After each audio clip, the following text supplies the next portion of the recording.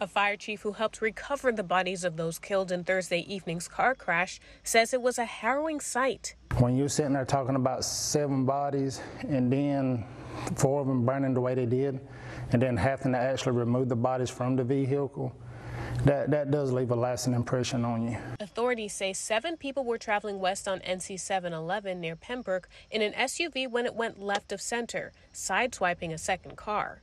Then the SUV crashed with a utility truck and ran off the road into a swamp before catching fire.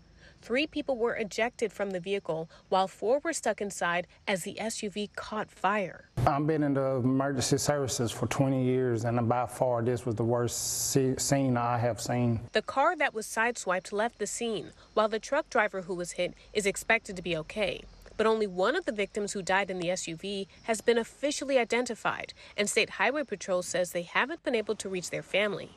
Meanwhile, other victims' remains are now being examined by the state medical examiner's office. This dessert factory confirms the seven who died worked here, hanging these seven bows behind me in their honor. Authorities say speed was a contributing factor. We get tend to get to the point where we're always in a hurry.